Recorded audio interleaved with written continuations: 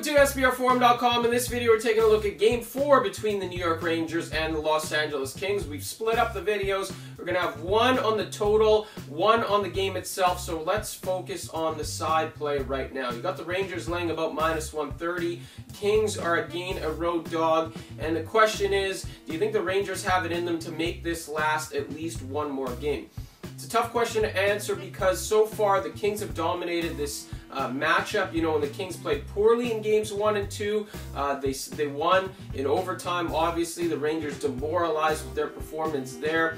The Rangers have shown that they can't play with leads. The Kings have shown they can come back from uh, deficits, of course. And then, of course, when the Kings scored the first goal in game number three, it was lights out for the Rangers. Obviously, that goal was a backbreaker, but the Rangers showed no uh, no capabilities of coming from behind which is not a big surprise because we've seen that from them uh, virtually this entire postseason. When they've scored the first goal, they've been winning games. When they haven't scored the first goal, uh, they've had a tough time uh, winning those contests. So what do we expect for game number four? Well, I actually think that the Rangers do get the job done. I think that they're going to win. It's not a play that I love, but I do think that they extend this one more game. I remember back a couple years ago when, uh, you know, when the Kings were facing the New Jersey Devils in a very similar series. The Kings uh, were up three nothing, and the Devils came uh, came back, and I think they won at least one. You know, if memory serves me correctly, maybe even two games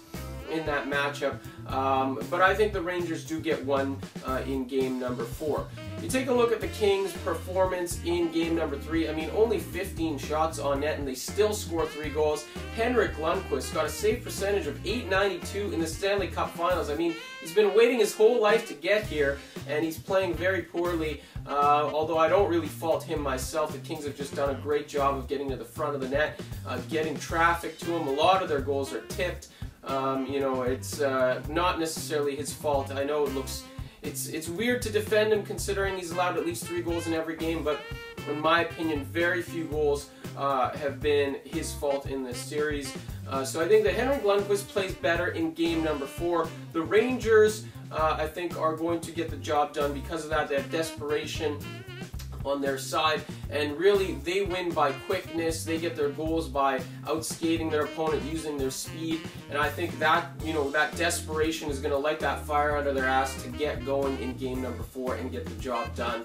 Uh, not going to be a pretty one but I think the Rangers do enough to get by the Rangers uh, to get by the Kings and extend this at least one more game Thanks for watching this video right here on SBRForum.com. As mentioned, we got another video up for you breaking down the total on the contest. Make sure you check that out because I actually think there's a better play on the total than there is on the side.